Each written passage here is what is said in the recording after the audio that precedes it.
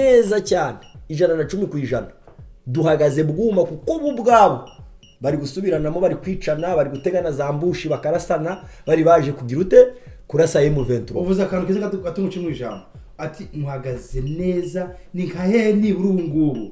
Nk'umuntu ukomoka irucuru waba uhazi U- nibura wa- wagera kutubwira aho bari ubu ngubu aho bari babagereje no akandi bwongerewe ese niba ndi gusubiranamo wari ukavuzeho nako? Yeah. ubu emu ventura ihagaze hehe igejeje hehe niba ndi gusubiranamo bo icyo navuga ahantu bahagaze ni ukuvuga ngo abazi iriya misozi eh, wenda nkawe wanabayeyo iyi misozi ikikije eh, ikigo cya gisirikare cya rumangabo turiya duce twose twose twose twose iradufite ugusa bugusa turahafite. Ah, ubwo nimba ngo turahafite. Ni abavandimwe banjye bari hariya kuko ndabashyigikiye. Oh, yes. okay barahafite. Rumangabo rumangabo ntabwo tuyifite. Ariko harimo interahamwe yaragiye kabira araza umva ngo kabira cisekedi cisekedi nta n'ikibazo cye nta- ntabwo bamwungirije niyo birirwa bamuhindura. Warabizi ko twe turi kurwanira agace kacu. Ni ukuvuga ngo bazanye interahamwe bazirunda muri rumangabo ziruzuye bazana nyatura bazana mayimayi bose bari muri rumangabo ariko bitinde bitebuke. Turabakuramo baravamo. Kuko ya turabakuramo kuko umuntu iteye kurwanira ukuri Ajya gutsinda. ntayatsindwa ejo bundi ba- barashe ibisasu ahantu mu baturage leta ya kongo an fdr nimvuga leta ya kongo mujye mwumva fdr kuko nibo basirikare bafite. Katanyama ntiyirwana. Nicyo ndi kukubwira ngo rumangabo ntiravamo ni fdr turi kurwana na yo. Njyewe ndi inyuma ya M23 ndidekaraye wowe uri kuri youtube ugiye kureba ikiganiro cya ba joshua. Wanyanga wagira ute ndi inyuma yayo kuko bari kurwanira uburenganzira bwanjye. Yes. Brother joshua So, wowe um, amakuru ufite ubu ngubu kandi ariko ariko utaramubaza Yego. uretse gato wari uvuze ngo ni bande bari gusubiranamo ako kantu Eh, ntabwo nagasubije. Yego ni bande bari gusubiranamo ni ukuvuga ngo ngewe mvuka muri rucuru muri rucuru ariko kwa ba papa ni impati ni muri masisi. Nuko kwa kundi bya bindi by'abatutsi bimuka bitewe n'amatungo bakajya gushaka aho baragira ariko ah, gakondo yabaviye naho bita impati iyo ngiyo muri masisi. Njye ntabwo mpazi ko navukiye rucuru. Bo ariko eh, icyo nari nshatse kuvuga ku bijyanye na- n'abo bantu basubiranyemo hari umujenerali wari ukuriye nyatura muri kariya gace ka bwito. Abantu bari kubikurikirana. Hariya ni iwacu neza gutya. Cyane gace ka bwito. Uwo nguwo yitwa.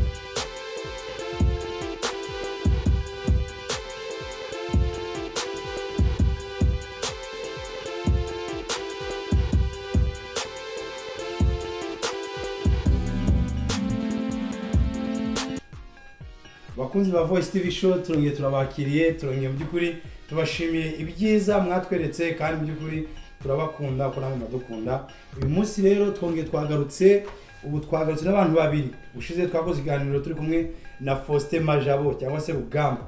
Ku kiganiro twakoranye ubushize ariko ngubu twaje turi kumwe n'undi muntu wundi iburyo bwe akamwita joshua ibumoso akamwita majabo faustin.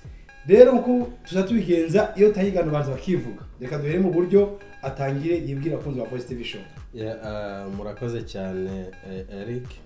Amazina yanjye ni ngabo joshua innocent. Nkaba ndi muri iki kiganiro mwadutumiyemo. Uh, imana ibaha umugisha. Murakoze cyane brother joshua. Reka mu by'ukuri tubwire n'amajambo yongere yibwira abakunzi bacu ba voice tv show. Ya urakoze cyane gafasha. Amazina nk'ibisanzwe ni rugamba majabo faustin. Twaje hano kugira ngo tubwire ah, abakunzi bacu by'umwihariko ah, abantu bafite amatsiko yo kumenya uko ikiganiro cy'umunsi kiri buze kugenda bitewe n'ibyo twari twabahaye ubushize ku makuru yo muri congo. Murakoze? Murakoze cyane ndongera ndabashimiye cyane. Mu by'ukuri nongera kandi nshimira abakunzi bacu ba voice tv show. Muribuka ko ubushize twavuze ku kiganiro cyerekeranye n'ibibazo biri kubera hakurya muri congo aho tuvuka. Ese mwa bagabo mwe muri aho ngaho imbere mwembi muvuka muri congo? Kaduhere ibumoso ngo ndavuga amajabo. Bo urakoze ngiye ndavuga ku ruhande rwanjye. Mvuka muri congo ah, i rucuro ah, aho bita i nyanzare cyangwa igikuku abenshi barahazi ariko na mugenzi wanjye byanga bikunda nawe niyo avuka nubwo ntazi wenda agace araza kukivugira. Eh. nzi neza ko muzi twese turi batoya so byanga bikunda dushobora kuba duhuje ibibazo. Urakoze okay reka na, mugenzi wawe joshua nawe uvuka muri congo Ah, akenshi iyo abantu bambajije nkunda kubwira abantu ngo mvuka chicago. Ah, ni muri leta ya amerika. Ndahabona leta ya Illinois. Ahantu Ah, leta ya no mu- mujyi wa chicago.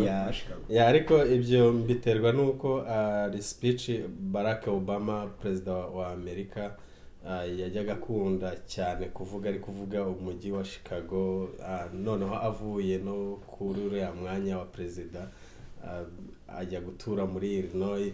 Byatumye rero nkunda uriya mujyi kuko ngewe naje no muri iki gihugu mu gihe cya obama.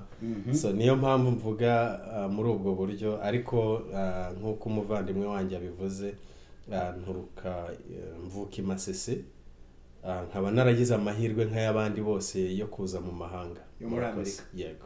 Rero bakunzi ba voice tv show ngize amahirwe. Ni amahirwe atangaje guhuza abantu babiri bavuka muri congo ariko mu buryo butandukanye. Maje bavuka irucuro uvuka i masisi. Yego. Ariko mwese muvuka mu gihugu cyo muri congo. Mu by'ukuri rero mu gihe cyashize hari ingano nakoranye na majabo uwo ntabwo wari uhari twavuze kuri M23 Mhm. M23 nawe urayizi? ah, M23 ndayizi. Ah, ntago nayoberwa kandi irwanira uburenganzira ah, bwa bene wacu. Bwawe nawe urimo. Nimvuga bene wacu ni uko nanjye ndimo irwanira umuryango muri rusange. Murakoze. Nawe urayizi rero? Ndayizi. Kuko majabo ushize yavuze ati ndayizi. Ndayizi cyane. ikintu yavuze kiranshije ngo ndayizi kandi ndayikunda Mm. nawe kantu wakongeramo so ah, ngewe noneho birenze no kuyikunda kuko M23 narayizize wenda mu kiganiro ndaza ku- kubibabwira birambuye. Wowe? Yego rwose. Ah, narayizize urumva rero ikintu wazize ntabwo uba ugikunda. Birumvikana. Kandi n'abantu baba bakikubonaho. Brother joshua nkikuriho ugerageze mu by'ukuri ku, ku, eh, ku- kubwira abakunzi ba voice tv show. Ubushe nabajije majabo mubaza ikibazo. Akenshi iyo nkunda iyo ngiye gutangira ibiganiro mubaza nabaza abantu kugira ngo ba- bacangamuke neza iyo ni challenge. Ntabwo okay mu by'ukuri nawe wenda hari sinzi nabi ko guhemura rwanda nisegura ese mbere yo gutangira ibiganiro nkubajije akantu gato cyane? Hari ikibazo? Yambaza nta kibazo kuko ah, icyo tubereho ni ukugira ngo niba hari icyo umbajije icyo ntazi abadukurikira baraza kugisubiza muri comment. Watubwira ko ukomoka muri congo. Yego. I masisi yego. Ndagira nkubaze ese i masisi urashobora kumbwira agace ka gicanga gaherereyemo ni lokalite ye? Njye ntabwo mvuka igicanga akwishyura ni masisi yego ni ikasemo kabiri. Ikasemo hari kabiri. igice kimwe Yego. cya rucuro n'icya masisi yego. Okay okay nagira no- wenda ngo mbisobanure aho ah okay wowe uvuka i masisi nka rero kugira ngo nkubaze eh. Ngewe umbazi gatoya igatoya yego. Ah gatoya nta bice by'aho mpazi imana ishimwe Ah. neza nawe rero nawe- ubonye nyine urwitwazo. Rero basi nkubaze mu buzima busanzwe Mm. sibyo ubuzima busanzwe. Yego. Yo kubaza akabazo kurusha. Mm. so iyo bavuze sibyo iyo bavuze ngo mu giswahili Mm. bakavuga ngo tujye guteka ibishyimbo. Mhm. Sibyo yego. Ikinyarwanda mvuze yego. Mu giswahili bavuga ngo iki Ah, twende kupiga maharage. Majabo urahamanya nawe ah mbo. Mu giswahili rero ibicuro naho niko yavuga tuende kupiga maharage. Bo, ah, ya, mi naenda kupiga maharage. Tuende kupiga maharage enda kupiga maharage. Mm. mbese nuko nyine mwa- mwa- mwabona mwabivuze muri utanga rwose ndi Mm. ndi Kupiga maharage. none iyo bavuze majabo iyo bavuze iyo ufashe ibishyimbo ugafata n'ibigori ukabivanga bavuga ko bagiye guteka iki ubona ni ibishyimbo bivanze n'iki Ni impungure. Eh. Gusa ni imvange hari. mu giswahili Ah. Rero akakunyagada. Mu. Giswahili. Joshua. Urabivugaho iki? Icyo kintu Eh, eh. kintu kijyanye na na- Nta- nta- n'imvange y'impungure cyangwa nta n'ibishyimbo. giswahili kibaho cy'icyo bintu hari bivuze biranashoboka reka twe twakuriye mu rwanda. Ariko hari ibintu wenda nuko turimo gutinda muri ibi ariko hari ibintu twebwe rimwe na rimwe tutanaryoswa ntize igiswahili uretse nkanjye ngewe namenye igiswahili kubera gukina umupira. Ntabwo nigeze mba muri kongo Oh, zumva uh, so rero hari ibyo ntazi. Joshua wenda? wenda ah, gafasha abajije kino kibazo ariko ni ikibazo cyiza. Ariko tena kigaruka ku mateka yacu. Ahubwo naho nshaka ngo ngane neza. n'icyo n'icyo M23 iri ku Rwanda. Naho nshaka ngo ngane neza. Niba So, bo muri bitewe abakongomani n'uko twebwe turi abakongomani bavuga ururimi rw'ikinyarwanda. Okay. Kubyumva? Aho ngaho unzanye neza. None ibyo bintu guhivanga ifata ibishyimbo n'impungure ukavanga mu giswahili bibamo. Yabibamo bavuga ngo iki? Abadukurikiye baze kubisubiza. Sawa. Mu bintu rero by'ukuri mu bintu rero by'ukuri numvishe cyane Mm. M23 naryozwa cyane. N'ibyo bintu. Mm. ngo ntibazi igiswahili wavuga ikinyarwanda Mm. ese bavuga igiswahili nabi. ese niba nawe ngani ese M23 koko murahamanya ko bavuka muri Congo kaduhere ku Joshua so ah, ni abakongomani. Impamvu mvuga ngo ni abakongomani bitewe n'uko ngewe ubundi ngiye kwidekarara niyo najya mu rwanda ndi umunyarwanda. Mhm, bitewe n'uko ibye- ibiranga umunyarwanda byose ndabyujuje. Mhm. so ukabizi utari muri Congo rero? mba umukongomani ku bw'amateka. Umuvuga ku mateka yego. Majabo uravuga wowe ntabwo ndi bujye kureye cyane ariko hari ako wenda nshaka kuvuga. Ntabwo ntabwo navuga ko ndi umunyarwanda. Nk'uko abivuze. Kubera ko umuzungu yemeje abera umuzungu yemeje yuko njye mba umukongomani ndabawe. Ndiwe n'ibyangombwa byanjye na pasiporo n'iki byose biriho ko ndi umukongomani. Byo muri Amerika? Cyane. Ariko ibyo avuze umuvandimwe umufashe nonaha ukamufata cyangwa njye ukamfata cyangwa wowe. Yego.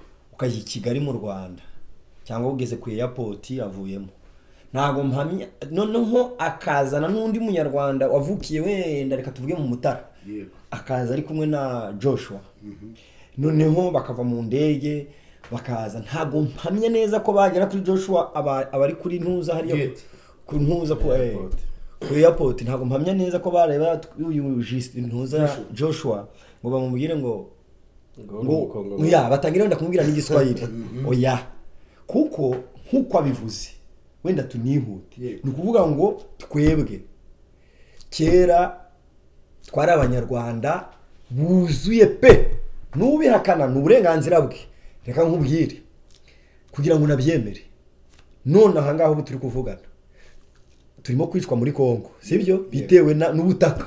Arega umukongomani navuga ngo ngo ngo bajye kwirukana abanyarwanda azibuke ko bafite n'ubutaka hariya. Noneho banatwirukanane na bwa butaka.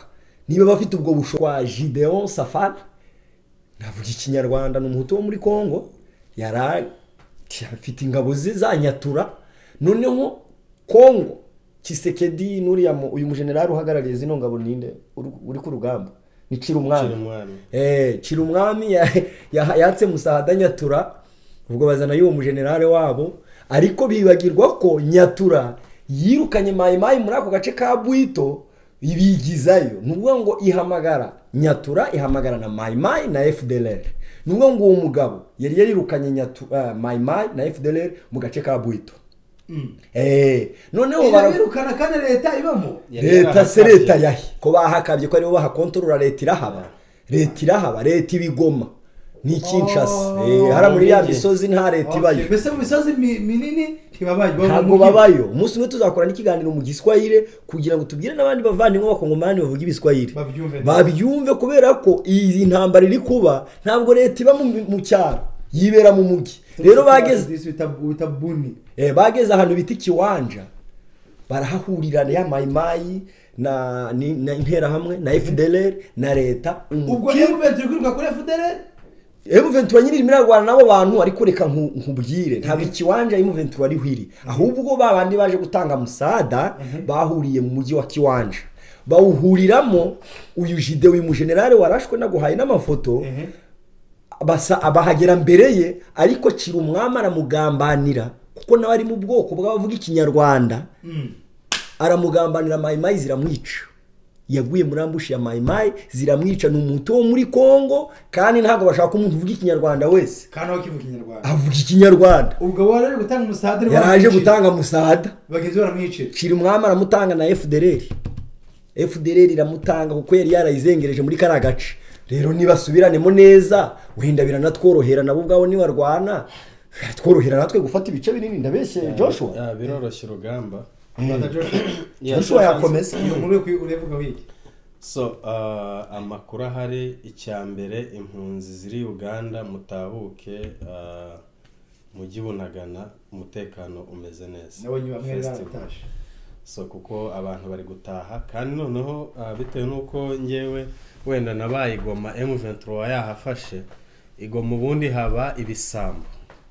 Haba abajura pe.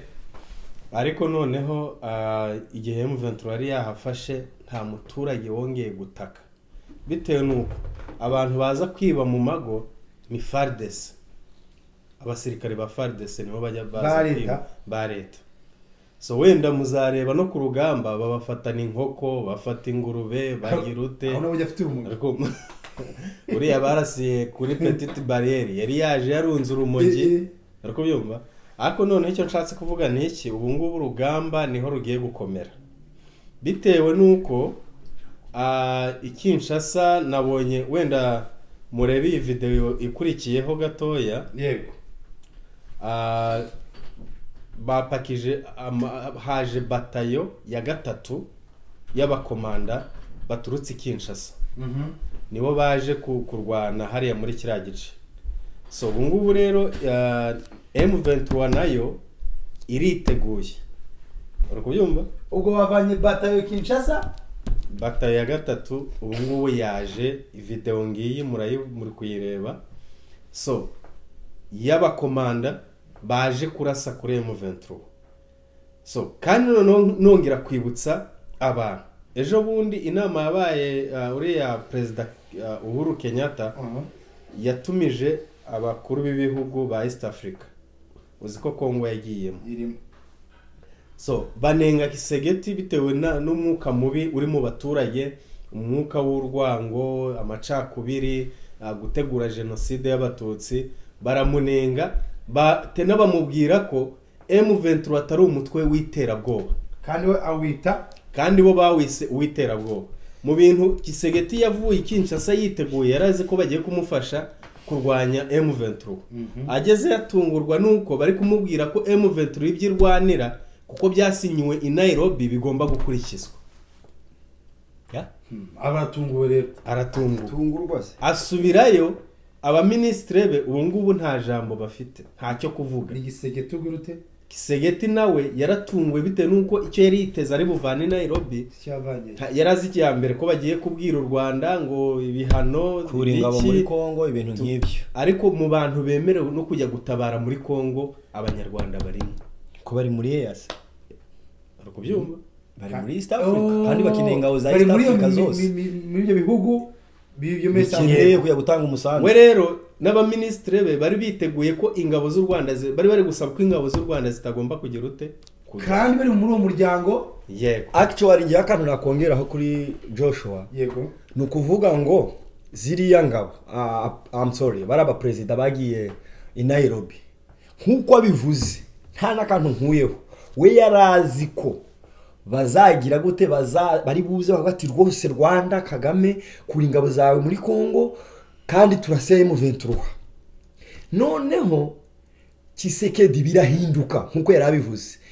Ni na yo mpamvu niyo mwarabonye ririya tangazo ryasohotse. Nta muntu n'umwe ryigeze ritunga agatoki. Ntiryigeze rivuga ngo murase M23 ntibigeze bavuga ngo M23 muri muri mutwe w'iterabwoba baravuze gusa ngo abantu bashyira ibirwanisho hasi bayoboke ibiganiro kandi bave mu duce bafashe. Ni icyo kintu bavuze muri iriya tangazo. Ikindi basaba bageze i Kinshasa. Ageze i Kinshasa. Aba- abaminisitiri bamubwira ati vuga uvuye aho ibi bintu ntabwo bibaho. None ahageze i Kinshasa abonye bari bumurye ni ho abakongomani bavuze ngo muri rino tangazo ntabwo dushaka ingabo z'u rwanda muri congo. Ariko ntabwo byavugiwe i nairobi. Byavugiwe i kinshasa. Baramubwira ati "Nti- uri busha ntibyakunda ntabwo ingabo za kagame zizajya muri congo. Ni ukuvuga ngo ni ab'i kinshasa babyanze ariko mu nama yabereye muri Y'abakuru b'ibihugu. bemeje ko ingabo za yase zose zizajyayo nta n'imwe ivuyemo. Wakomeza. Ya noneho ikindi bamwibukije bamwibukije ko ah, yibagiwe inshingano ze. Uwo ni nde? Ah, kisegeti. Perezida perezida mugenzi we ni we wamubwiye ati? Bodo bajya mwita ngo ni igisegeti so ah, perezida kirombo perezida kirombo bamubwiye ko yibagiwe inshingano ze. Ako bigaragara yarayibagiwe so bitewe n'uko wazibutse ninde Ari- kabira we yarazibutse. Kabira ndakubwira keretse niba wenda umbajije wenda kugira ngo ngusubize. Kabira ni umusirikare. Kisegeti ni umuseveri.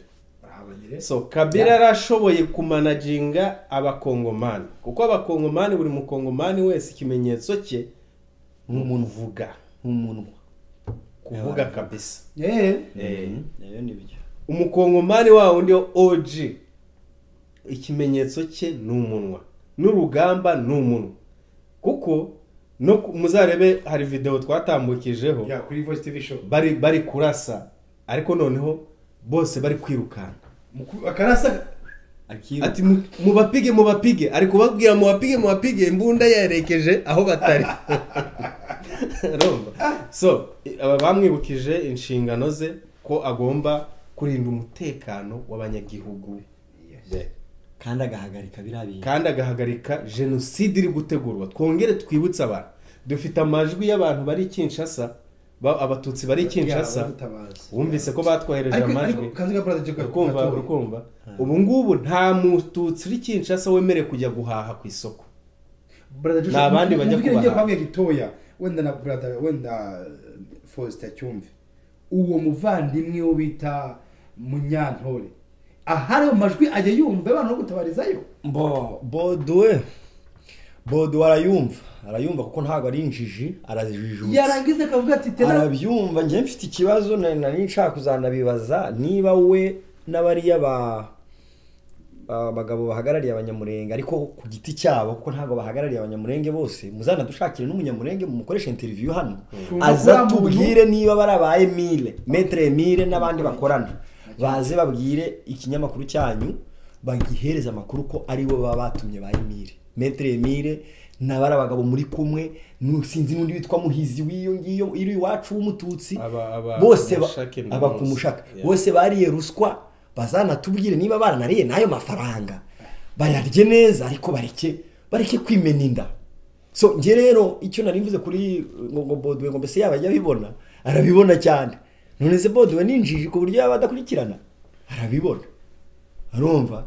So rero ikintu ikintu twavuga eh, ni uko icyangombwa icy'ibanze hano turi hano ntabwo twaje gukina. Turimo kuvuga kugira ngo abavandimwe abantu bose bafite byibura iyo interineti abo bantu babasha kujya kuri yutube bamenye abenshi ntabwo twese tuba tunganya ubusesenguzi kuko natwe dufite ababiturusha. Nta muntu ujya uvuga ngo azi byose ariko byibura ibyo uzi bivuge. Abavandimwe bari kureba ibi- ya na tv show n'ahandi babisohora. Please musesengure neza murebe. Murebe mureke gukurikira bariya ba, ba rutarindagira. Na bariya bagabo bari guhereza umwanya ama interview bakaza gutanga amatangazo yamagana M23. Uriya munyamurenge abatutsi bo muri Nord Kivu ubundi ninde wamutumye? Baratwara abatumye ngo bajye kutwamaganira M23. Ko atamaganye mbese uwitwa makanika? Babisogo. Ko atabamagana ko atajya yamagana gumino. nyatura nyatura iri kuri masisi ko atayamaganye nyatura we eh oh njye ndi kumuha urugero. Ko ataramagana makanika wafashe imbunda njye mureke mbabwire Eh, uri bukavu Yagiye Bukavu? Kuko uriya mugabo arimo aravuga Eh. niba mwabikurikiye. Eh. we arimo aravuga ngo M23 niri kubateza ibibazo. Ariko nyamara abatutsi batangiye kwicwa M23 yaranihungiye. Ejo bundi makanika aza kurwanira bene wabo ngenda namushyigikiye ntabwo ngenda nkawe. Kuriya mugabo atamaganye makanika. Makanika abantu amaze gukiza. Ni benshi cyane. ni makanika ni umu- ni ni umunyamurenge umututsi w'umunyamurenge. Yavuye muri gavumenti aza mu misozi miremire muri ho plateau. Ah, bene wabo bari kwicwa. Abanyamurenge bari kwicwa. Aravuga ati ntabwo ndakomeza kuguma ahangaha bene wacu bari kwicwa. Arajya ajya none ubu gutabara bameze neza. At least Ah, hari abarokoka uko biri.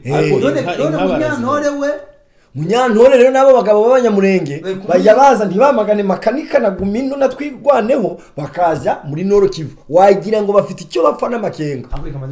Jewe sinzi aho ikibazo mwahere muvuga ku ntename imitwe yo kumva yarenze intekerezo zacu kuki batiruka niyo mitwe y'intoki ngo nimuventura gusa? So ah, Oh. reka reka nsubize gatoya. Ikibazo ni cyiza. Eh, muvuga ndagira umva ngo Bagira za gumino za batiruka So- nabo mu bitego by'ibyo Ah, icyo nabivugaho ni uko icya mbere ugiye no mu mateka y'abami ni uko nta rugamba rwigeze runanira abatutsi. Nimivuga gutyo ah, ubyumve. Reka mbyite izina ryabyo nk'uko bimeze. Bishatse kuvuga iki ubwo so bishatse kuvuga ko ah, icya mbere amateka. Amateka uko abigaragaza. Ah, noneho wenda uyu muvandimwe ah, rugamba kare namutumiye lisite y'abantu babaye muri fa no, za no, rdf babaye muri rdf noneho ari abakongomani. Bitewe n'uko bari batabaye. Baje gufasha. Ko icyo umunyarwanda ashobora kuzira ni cyo umunyarwanda utuye muri nord kivu na sud kivu ashobora kuzira. Uri kubyumva yego. Icyo umunyarwanda wo mu bwoko bw'abatutsi ashobora kuzira wa wundi wo mu wa wundi ni byo uyu nguyu yatangiriye ati ubu ngubu tumanukanye twembi ni umunyarwanda ngewe nkaba umukongomani tukagera kuri airport ntabwo badutandukanye. Yego.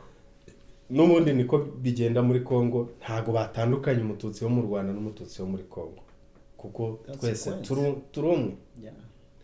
So noneho uravuze ati ikibazo ubajije uravuze ati kubera iki noneho ari bo bashyirwa mu majwi cyane? Ko ko ari bo barwanywa. Eh, kubera iki ari bo barwana? wenda muri kiriya n'imitwe nibayivaneyo bakwiye muventura gusa. So nuko iki kibazo Eh? iki kibazo iki kibazo nibo wakibaza. Ngenda gisubiza ari kubyumva baza bande buriya? Abo ngabo bagumino n'abande n'abande n'abande ntabwo nimwe ngezeho So, gusubiza nta kibazo Ah. namufasha. ukuntu mbitekereza ngewe. Ni uko twebwe dufite rerema icyo turwanira cy'ukuri kandi noneho badashaka kwi- ko tukigeraho wanagisubije gutya mbese ni ku- ni nko ya mbo reka mwunganire reka Eh, Yeah. reka Faustin. joshua ibi bino bintu ngo abavuze ni byo kanasorejeho Yego. wowe ubajije ikibazo cyiza uravuze uti se ko hari imitwe igera mu ijana na mirongo itatu n'ingahe irwana muri congo kubera iki sitire M23 ariyo ikurikiranwa ku- nubwo utagashyizeho ku buryo na monisco ubwayo na yo ifata indege ikajya kuyirwanya. Sibyo uravuga uti kubera iki M23 ariyo iraswa igikuba kigacika ikinshasa joshua aragisubije.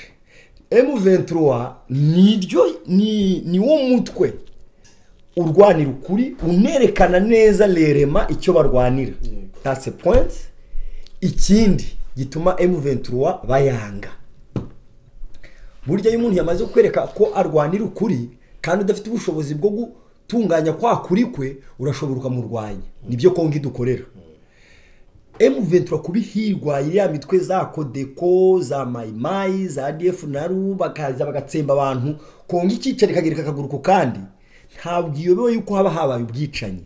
Ahubwo they don't care. Nta kibazo as long as bari batazi ibyo barwanira. Bo rwose baraza bakica abantu bakigendera ni amabandi yo gusahura. M23 ntabwo ari amabandi.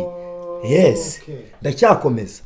Ni Eh, ni ukuvuga ngo bafite ikintu bari kurwanira ntabwo ari amabandi ni abantu bafite ukuri ikindi M23. ni M23 ikindi ni wo mutwe wonyine wasinye amasezerano na guverinoma y'i Kinshasa Okay. Okay. uri kumva ni ukuvuga ngo rero abo bantu iyo mitwe yose izo nakubwiye za nyatura n'ibiki byose zo ni ukurwanira uburenganzira wenda bwa bene wabo batuye aho muri ako gace kuko bahohoterwa bakifatira imbunda bakavuga ati reka tu-" kuko leta ya kongo tujye tuvugisha ukuri n'abandi bavandimwe bumva ikinyarwanda baba muri kongo. Ubundi tugiye tureka amarangamutima tuka- tukagira ukuri n'igihugu cyacu cyatera imbere. Yego. Leta ya kongo ntabwo ishoboye kuyobora noro kivu na sida kivu.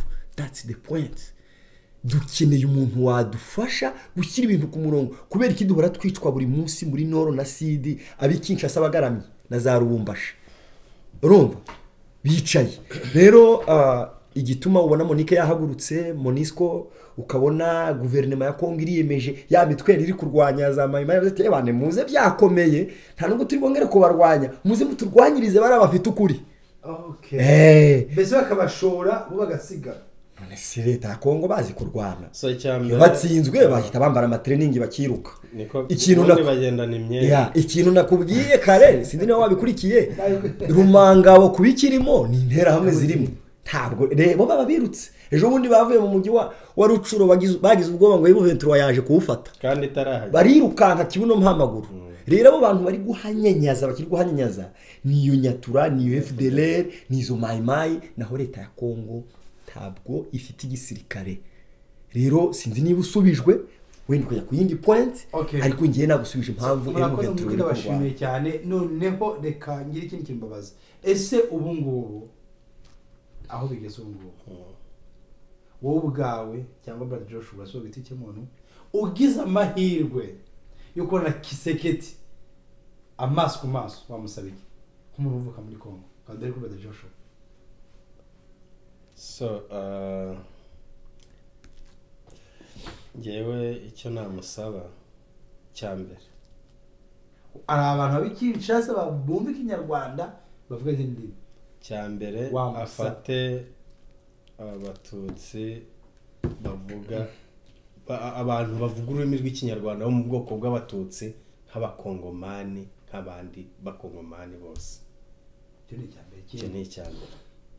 Icya kabiri amasezerano mukuru we yasize asinye kabira Mhm. kuko ari amasezerano ntabwo ari aya gisegete oya tubyibuke na byo. We ari mu bintu yasanze byarabaye. Yego ariko in- guverinoma yari yarabyemeje.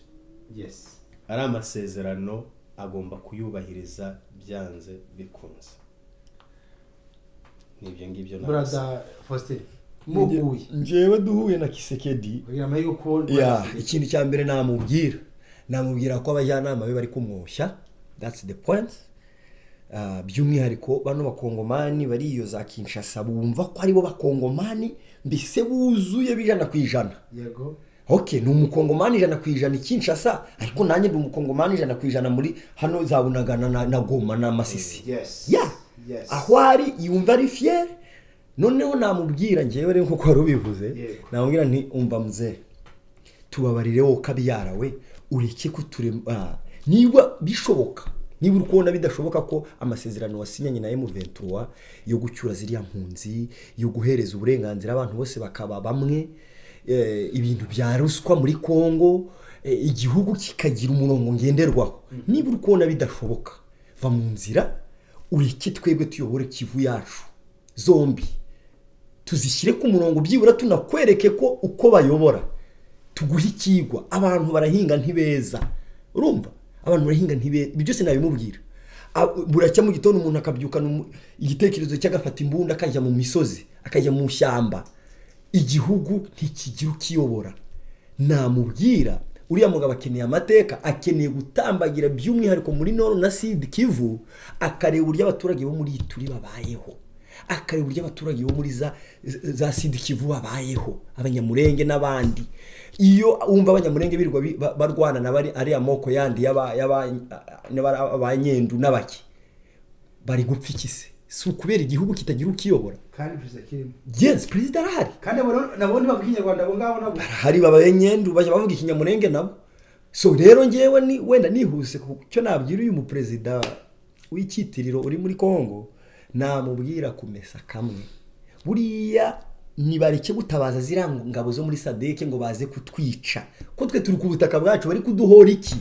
Hari umuntu waje kubatera ikinshasa?